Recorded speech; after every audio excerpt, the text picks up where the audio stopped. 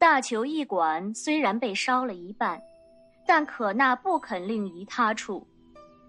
走水发生在除夕，附近的百姓偷偷议论，说大裘作恶，上天降罚。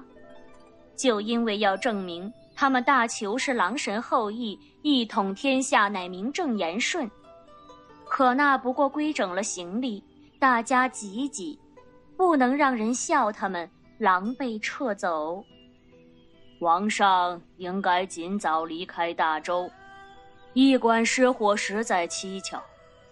再者，大周发现布防图被盗，势必怀疑到我们身上。虽不敢明目来查，暗中不知派了多少眼线。王除夕冒险设灵，臣恐怕落入有心人眼。即便无人认出，也难保宋墨子不说。她如今是大周的女官，老臣看来。也似乎全然偏向于他们，实不能信任他。可那也不喜欢墨子，他和其他王公一样，认为此女祸国。可那慎言，国后之名怎能由臣下直呼？乌言不悦。王，此女设下王手中之灵，分明已有决绝之意，便是忠言逆耳。老臣也要说实话，此女不配当王后。汉女卑贱，进宫必生祸事。若王一意孤行，只会令各族王公离心呢。可那仍劝。孤以为说的够清楚了。宋氏功于社稷，其女之功更甚于父兄。大裘兵船长驱直入玉陵水境，若不是他，能否？你们别得了好处忘了感恩。汉女如何？大裘统下汉民千万，孤取汉女为后，民心可归。难道可那以为大裘得天下之后，还应该将汉民视为贱骨？江山之大，不得民心，那才真是自取灭亡。如今要以少胜多，手段不得不残。墨子聪慧宽仁，能为我笼络汉民，将来决胜之力便在于此。乌颜冷眼一扫，可那今后若再辱王后，就辞官归老了。可那不再说了，转身走出去，却在门口看到女儿月莹端了茶点来，老眼微微一敛，莹儿。王入上都后，可召你侍寝。大裘男女风气开放，合则欢，不合则散。除了正妻需要迎娶之礼，便是贵女，如果当人侧妻妾室，骑匹马进婆家，就算嫁人了。月莹此次随他出使大周，本意确实是来见识的。毕竟香儿已经贵为皇妃。可那一族便是再送女入宫，他也不曾打算让莹儿去，因为他知道这姐妹俩处得很糟。然而他没想到，莹儿对王早存了心。出发没多久，莹儿就趁王酒醉投怀送抱，已有夫妻之实。当时莹儿说只是戏耍，让他不必为他出面。可是除夕之后，他突然改了主意，请他将可娜家另一个入宫的名额留给他，手心手背都是肉，只希望姐妹俩能以大局为重。他眼里心里只有宋姐姐，哪还有多余的情谊？不过女儿不怪，此时争风吃醋，无非惹人嫌。爹爹也不要说宋姐姐的不好。她身怀异能，还有造船绝技。香儿姐姐虽学的一二，不过皮毛，实难同她相提并论。以后的日子长着呢，何必为此等小事坏了王的心情，影响到大求大业呢？月莹乖巧的劝道。可那想了想，点点头赞他：“嗯，这点上，你比你姐姐聪明些。”她有时做事太过急躁，倒像极了我的坏毛病。莹儿，为父会送你入宫，你准备着吧。月莹双眸绽放异彩，对父亲盈盈一扶：“谢父亲成全。”等可娜走了，月莹进屋檐房内，见他正对着一把破旧梳子发呆，转念就知是宋墨子的旧物，于是故意弄响脚步声。屋檐看了他一眼，将梳子收进怀里。不用再端什么进来了，我不吃。月影也不劝，嗯了一声，细柳腰往回拧，仿佛自言自语。宋姐姐不肯回到王身边来，多半因为她父兄让人害死，还有人追杀他和妹妹。我们这里面有人处心积虑置他于死地，换了我也不愿意回来。月莹，你知道些什么？屋檐将他叫回来。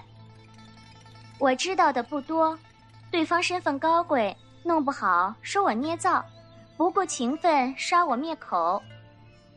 月莹暗暗一笑，回过头来却是正经神色。孤护着你，谁敢动手？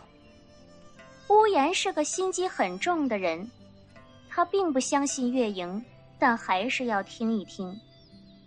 不用我直说，我只问：呼威是谁介绍给王的？呼威瞒报墨子的下落，月莹由父亲那儿得知。我再问。除了王，还有谁知道您和宋家父子之间的密信所在？是祥儿。屋檐瞬时皱起眉来。啊，这第一问是我姐不错，这第二问我却半点不知。月影假装惊呼，扑通跪下。我只是提醒王上两处疑点罢了，并没有恶意重伤我姐姐的意思。屋檐心情极差，对月莹说：“此事对任何人不可说，你出去吧。”月莹连忙说是，起身退了出去。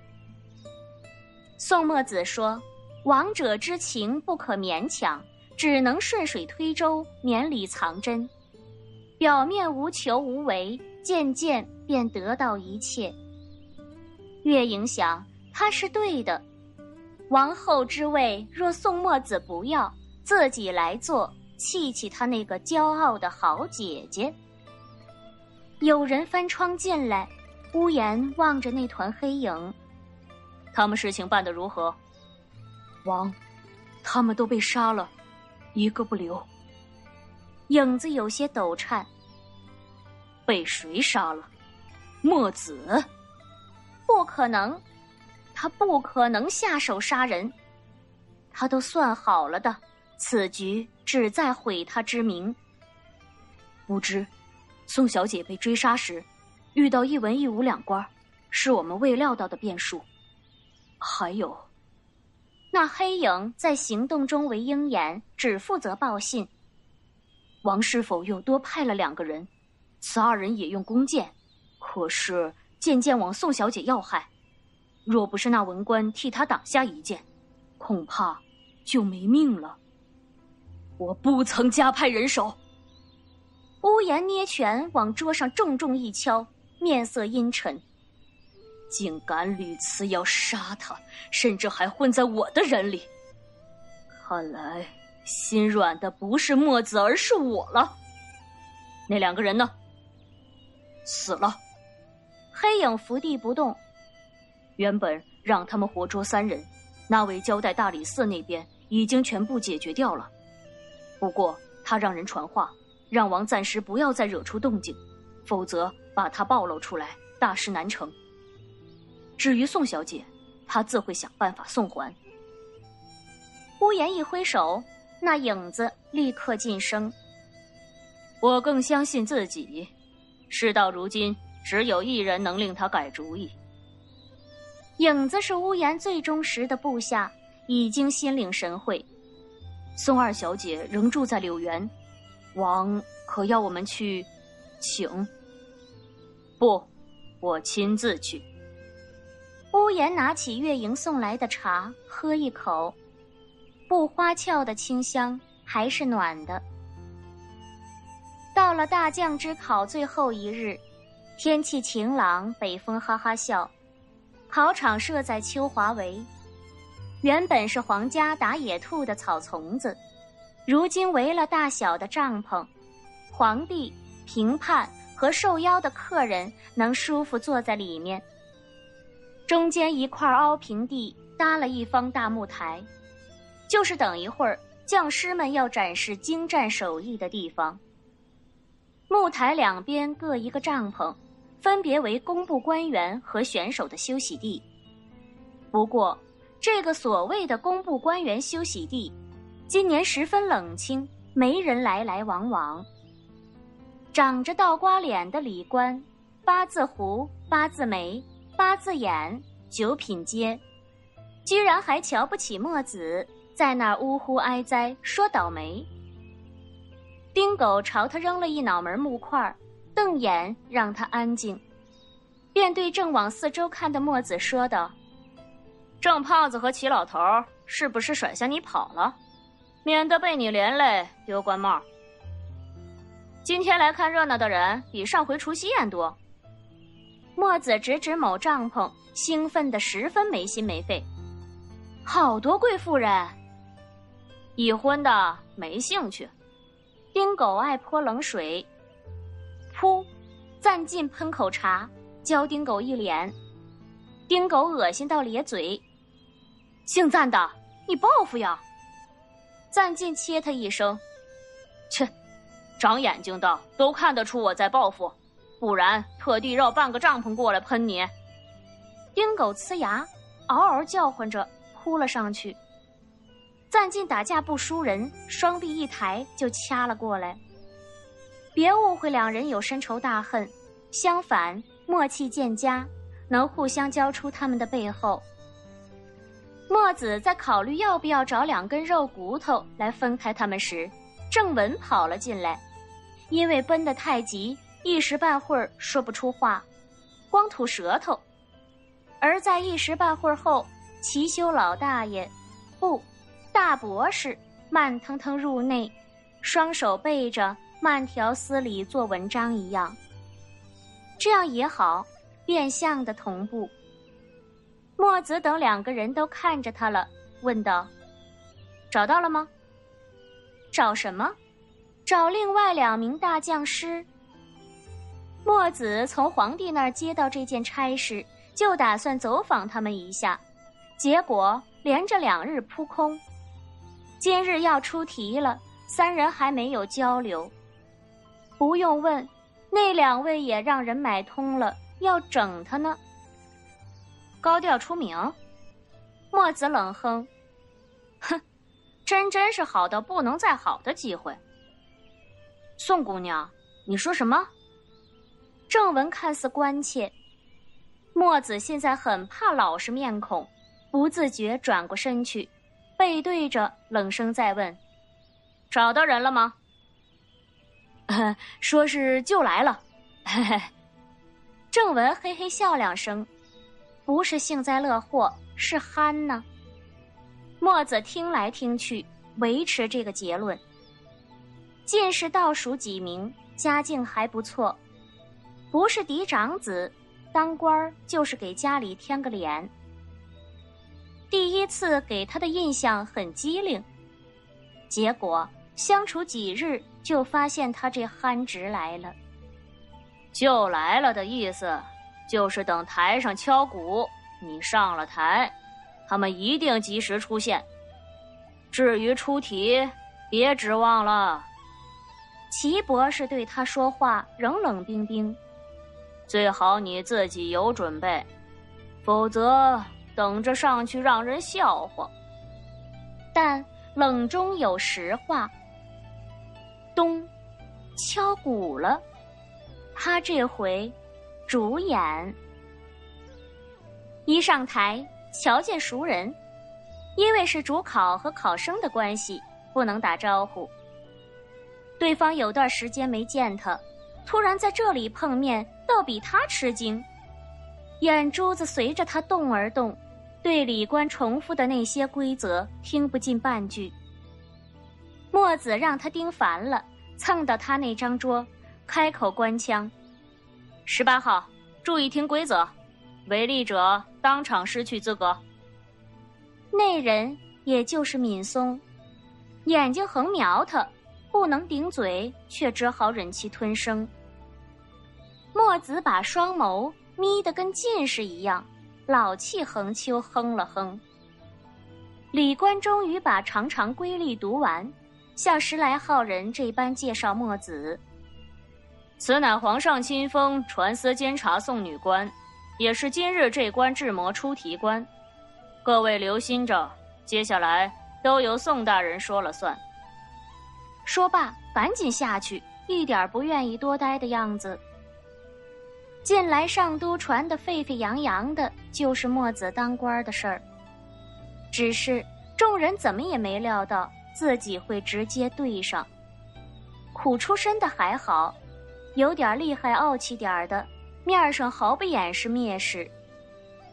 墨子眼皮底下就有个嘀咕：让女子考我，简直破了祖宗规矩。便是考过了，不过惹人笑话，倒霉。墨子一向能忍，听进耳里，满不在乎，朗声进入开场白。墨子初为官，蒙皇上信任，上官同僚厚望，为各位未来大将出题，不敢辜负。虽无经验，仓促间未及参考往例，定当竭尽全力。说到这儿，视线里出现两个着将做官服的人，正慢悠悠走来。那就是早该露面的大将师了。一般开场，为了博皇上印象，都会说上很长一段吹嘘。再者，笃定墨子要拖延时间等他们上台，否则谁给他准备考题？因此不慌不忙。今日之事是最后一场，五取一，实属不易，祝大家顺利过关。下面开始出题。墨子一笑，用观众都能听到的声音说道：“郑大人，请把考题拿上来。”那两个收了好处要整墨子的大将脸色变了，面面相觑，不明白发生了什么。刘公公高声传皇帝话：“宋大人，皇上问，为何不见两位府官？”墨子回。皇上，两位提官懈怠堕职，臣奏请事后发落。皇帝直接说道：“不必等事后，朕现在就准宋清所奏，先谢二人大将之名，由此番考将中多放两名补缺，待查明渎职缘由，再定其罪。”那两位顿时腿脚发软，以为此女不敢拿他们如何。谁知她居然当着这么多人的面参了他们一本，皇帝还准奏，于是连忙朝皇帝方向跪了，磕头喊恕罪。各帐里嗡嗡声四起，显然没想到还没开口就出了热闹。这时，皇帝和墨子都不理会。纯思思正垮了脸，对傅思政说。此女狡猾非常，白损了咱们两个人。傅思正叹口气：“唉，也是上面的人错估了此女的本事，怪不得我们。再说这些考将，年纪最轻的是闵松，其他多为三四十岁，最大的是位花须老人家，名册上写五十有六。”一旦考上大将，便会封工部将作和各司衙官位，成绩优异者能成为御将，直接就是五品阶。这是大周百年严惩的，除了科考武举，另一个为官的途径。考将们一听，这么一来又多了两个名额，对墨子单出题官一事便不那么在意了。说到底。名衔由皇帝亲授，谁出题又有何关系？他要是一点不懂，出些容易的题，他们还好过。